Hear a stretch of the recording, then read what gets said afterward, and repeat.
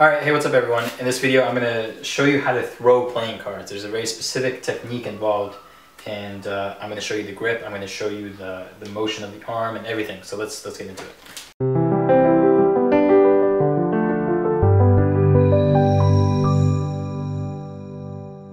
Alright, quick disclaimer you guys, you have to be really careful when throwing these cards because if you hit someone like in the eye or another sensitive area, you could really hurt them.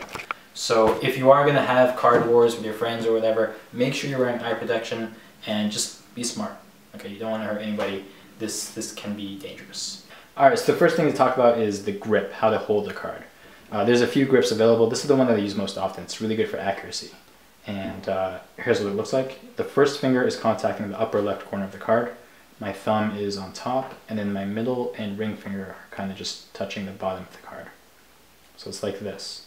And the reason this grip is good is because it allows you to spin the card very quickly. The, the card will revolve around your first finger, and then with the right motion, it just, you get a lot of revolutions. And that's important. That's like the key thing for card throwing. If you don't spin it fast enough, the card is just going to flutter to the ground. You need to spin it really fast so that it just cuts through the air and travels really far. So get comfortable with this grip, be able to get into it quickly and without like hesitating or anything. And then we'll talk about how to actually throw the card next.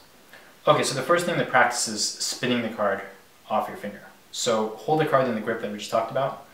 You're gonna curl your wrist inwards, and it's kind of like a whiplash thing, okay?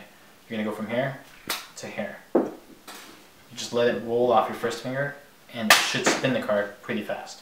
Now this isn't the full throw, this is just the spinning part. We're gonna talk about the throw in a second.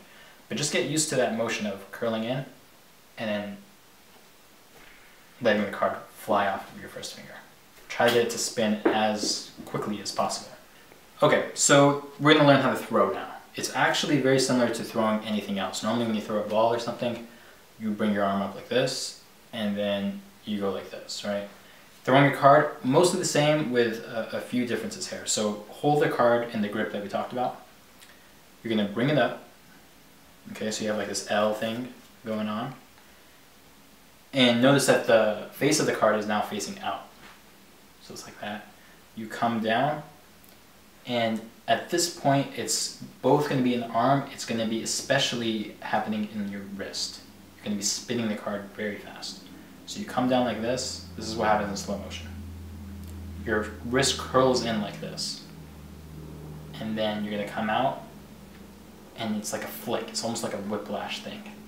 The card is going to spin off of your first finger, and it's going to shoot out. Okay, so in slow motion, something like this. Make sense? Alright, so I'm going to do the entire throw in slow motion so you can see exactly what it looks like. Here we go.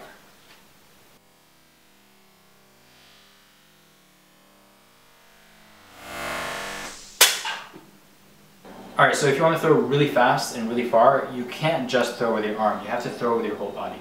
So it's like you're throwing a baseball okay? You have to bring in your hips, you have to bring in your legs, and there's like, uh, you're turning your body in the process of the throw. Same thing with the playing card. So let's say my target is over there. I'm going to start off angled kind of like this. So I'm almost sideways to the target.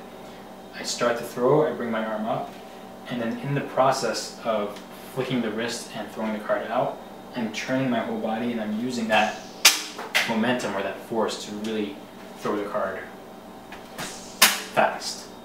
Alright, so when throwing these cards, you're going to notice that you might bend the corners. So you want to use a worn out deck of cards that you might not care about so much.